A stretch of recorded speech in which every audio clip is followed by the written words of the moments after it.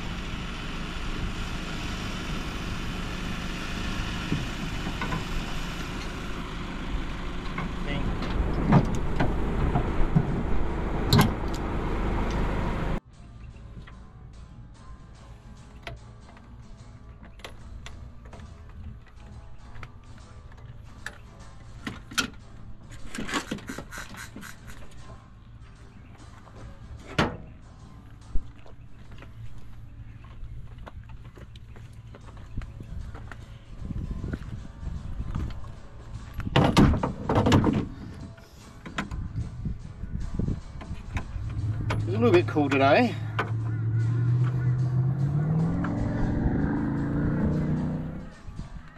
So we've got now, thanks to Jared, two lots of sonar Brad.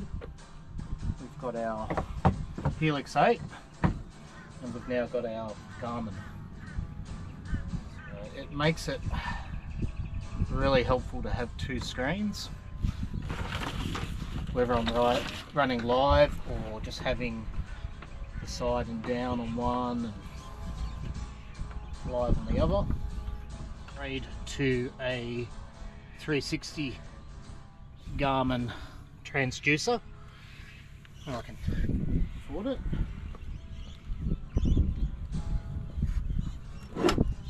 That'll give me another viewing platform then.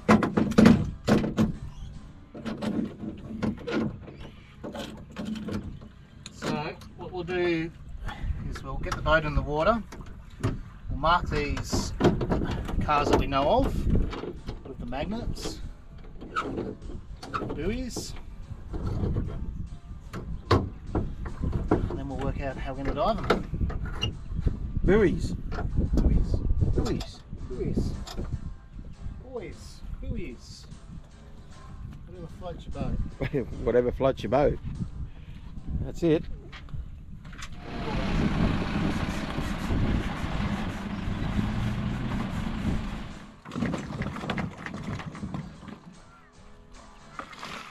Too easy.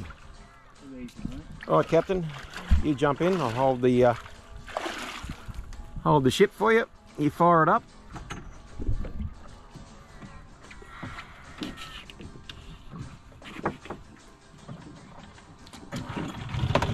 Oh, first start.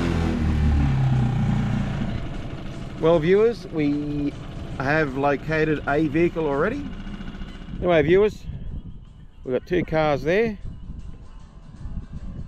we got one out there so we're going to get these two out first Righto, stage one is done. We've got the first vehicle over there to our left of the boat ramp. That's the furthest one out. Then we've got these, at least two vehicles here. So the goal is, I'm gonna go put my wetsuit on now, dive out to it, see if we can identify it, and then see how we're gonna hook it up. All right, go get some gear on. do it dan's going to be doing the diving the brisbane river is uh, is known for uh, a vast quantity of uh, bull sharks and um, he's got the equipment to deal with that he's got shark guard So I was just speaking to a couple of the locals, and Yep. they believe that the vehicle over there is actually a Toyota Land Cruiser. That the as the driver was putting the boat in, it's taken off and gone into the water. Ooh. It's been there a few years. So will we worry about that one or not really we've got to see which is which first because we Yeah. don't know if it's this one or this one. So my first goal is to dive on this one. Once we've worked this one out, then we'll go to the next one. a lot about bull sharks in Australia. Um, these rivers are really murky, and what happens is the bull sharks come up here to breed. So it's well known that there's a lot of bull sharks in this area. I'm following the line down, so I should be close to the bottom, so it shouldn't be a big issue. It's usually just when you're flapping around on top that's the big issue. But I do have my shark shield, so that just has a big long cable on it that sends out electronic pulse. Um, so I'll wear this, and hopefully that'll keep any sharks out of the way. There's boats around too. They don't like boats, so Mm. should be fine.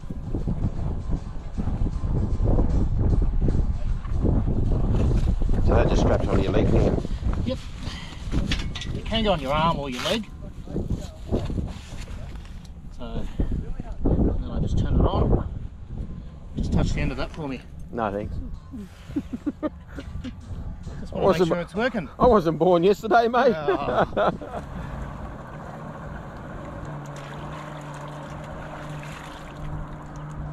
Braver man than me, mate.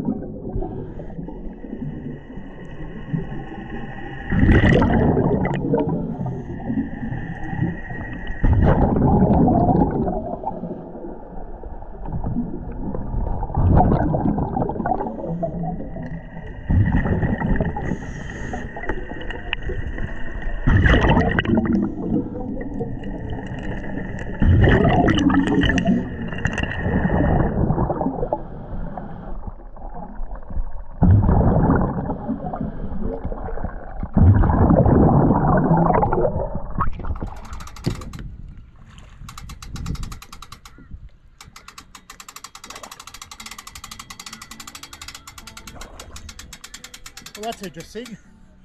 It's a Ford Fairlane, white uh, or silver. It's got a boat ramp, boat trailer on the end of it. So it's not two vehicles? It's not the Land Cruiser. It's a Ford Fairlane. So he's gone out, tried to put his boat in the water here, and she's gone in. So the, the other one's probably the Land Cruiser as well. So there's Uh, not there's no two cars there at all. Just a, a car with the trailer. You still want to pull it out? Yep. Okay, we'll do it. Might have a good. Okay, well it is a Ford uh, Fairlane that we're looking for, a four-door coupe. Uh, driver's window is down. Uh, I've reached in, there's nothing in it. Um, both plates are missing and there's a, a boat trailer on the back of it. So it looks like it's just a case of someone's reversed their car in, lost control and the car's sunk. So so Dan, what are we going to do with it? We're going to pull it out, get it out of the environment. We've got the equipment to do it, so I'll dump the diving gear, we'll get all our chains and our slings and get the winch out and pull it out. Right, let's get to it. Let's get to it. You right, mate?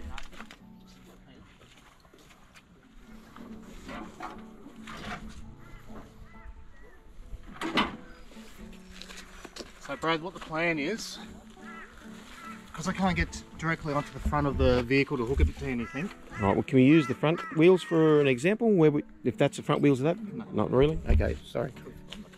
Uh, so what the plan is, I'm going to wrap these around the wheels, um, around the axles on the front, and then join it with a chain, Mm-hmm. and then run the winch line out.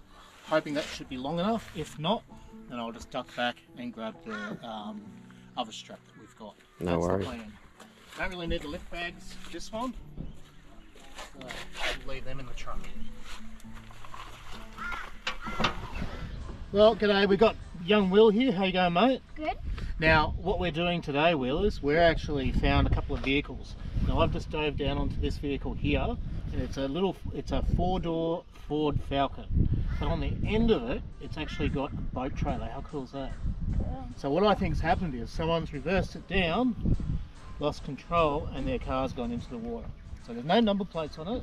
But what we're going to do now is we're going to take all these chains and the slings, connect them around the wheels. Then I'm going to run the big winch off the front of my truck. To pull it out of the water, get out of the water, keep the water cleaner than it was when we got here. Because we don't want cars in the water because they don't live in there, do they? And if we've got a nice clean environment for our fish and our fish habitats, it makes much better for your generation coming through, doesn't it? Yeah. Right, Will, thanks mate for watching and we'll get into the water. So what I'm going to do is take one sling down at a time and come back to the second one. So I'll Rightio. come back to the edge of the water, if you can pass me the next one, and then we'll, third time down, we'll connect the chain up, then run the winch wire out. Okay, awesome. Alright, let's get into it. So we've got the tide starting to rip out now. Um, I don't know if you can see it out there.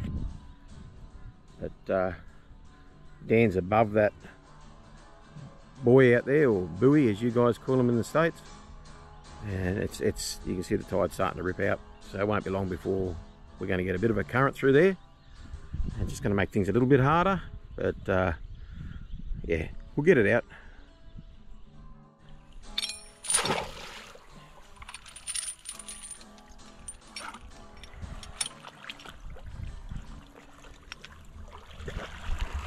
There's a lot of work involved in this. He's been out there four times already.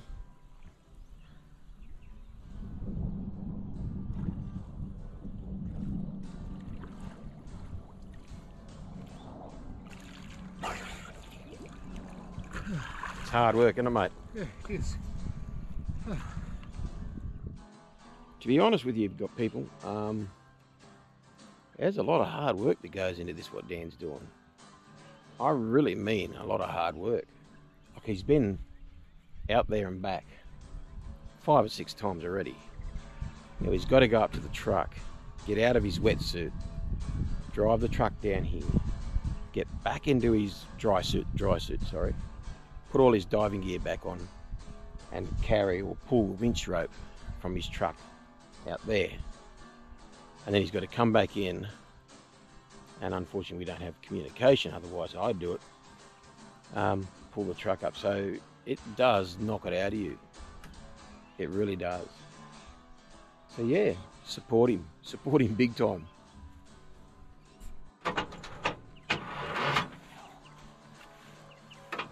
First time I've had this winch out, so see how it goes. I don't think it's been wound on very well in the past. Makes it harder to pull out.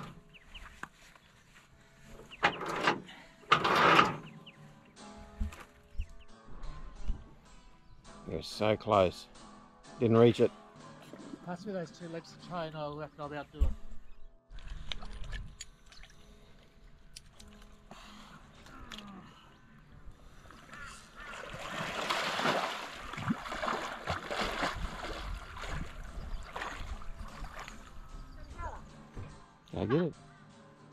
You're right.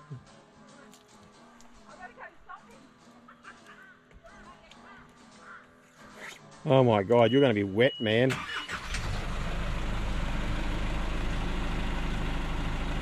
Right, so Dan's all hooked up now.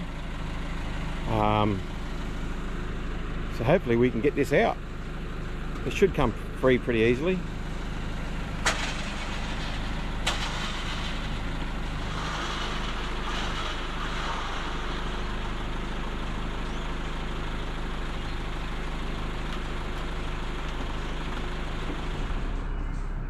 Right, we got the got the vehicles coming out. Dan's put it in reverse, low range four four wheel drive. And yep, there's the vehicle there. We did have something come undone. Right. We'll get back to it. Is that right? Like that. That was a good idea putting a four-wheel drive in. Yeah,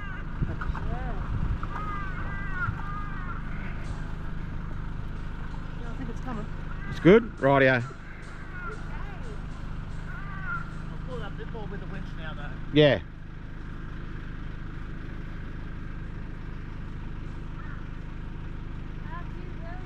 Yeah, I can see the the front of the car is just there. Keep going.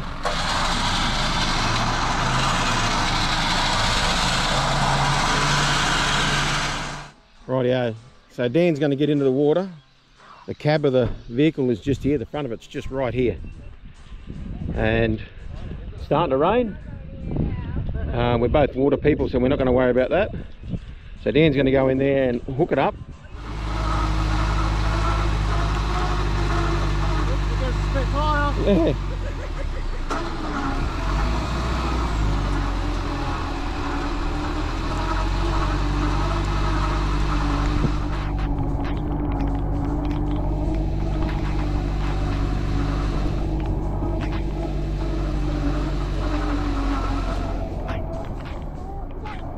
Yeah, Ford. Uh, Ford or Subaru?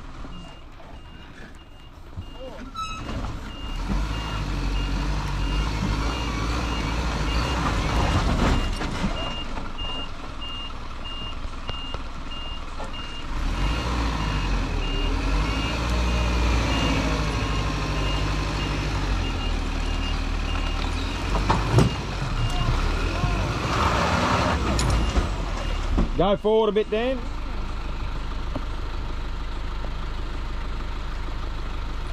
No, he puts his puts his heart and soul into this, eh? Yeah, he absolutely loves it.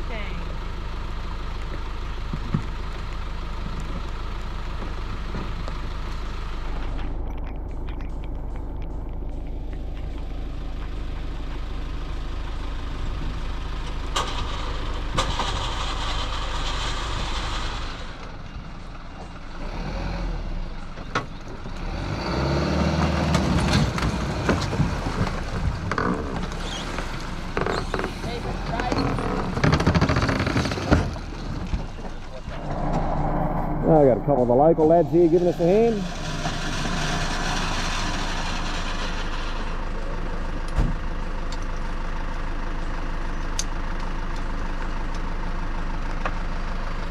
We need a bit of extra help, so we got You guys haven't been mind being on YouTube there? Right up here, Brad. So we, we've got the mighty patrol to give us a hand to get it out. Of course, in in There. So we've got, what's your name? Blair. Blair, Levi. Levi. Harley. They've just come by and they're going to give us a hand. So good on you boys. Thank you very much. We'll get this car out, see where we go.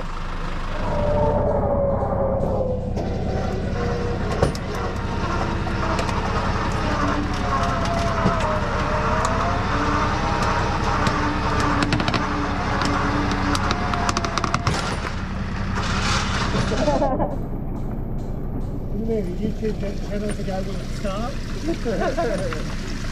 Or the, ab- or the Aboriginal, that Aboriginal show where they'll get it started. They're good shows, eh? fair bit of mud. Yeah, window wiper does, uh, window one don't work. Sadly.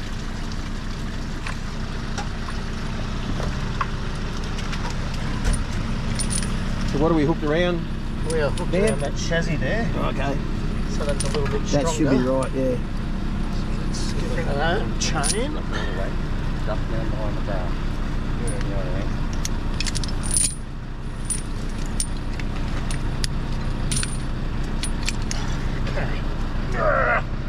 Right.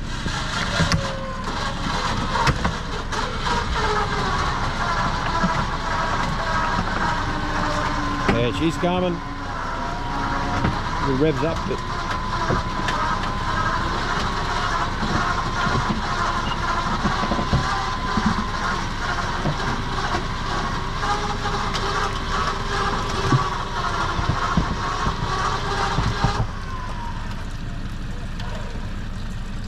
That's fine.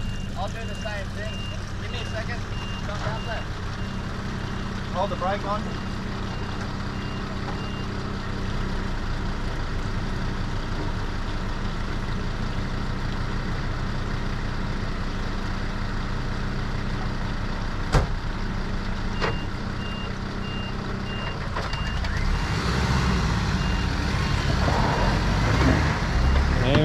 He's not going to reverse into those posts, is he?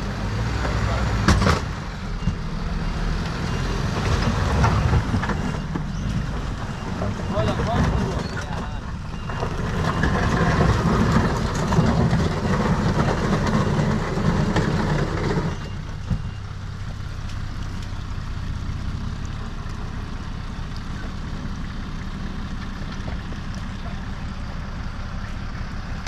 Teamwork, boys.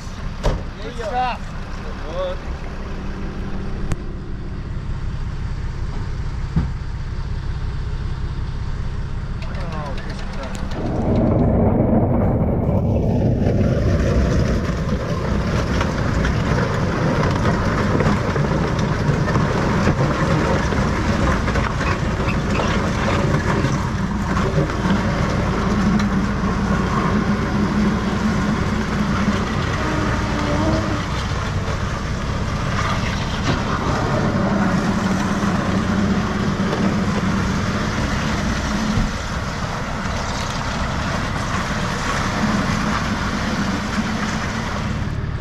Not damaging anything? No, you're right.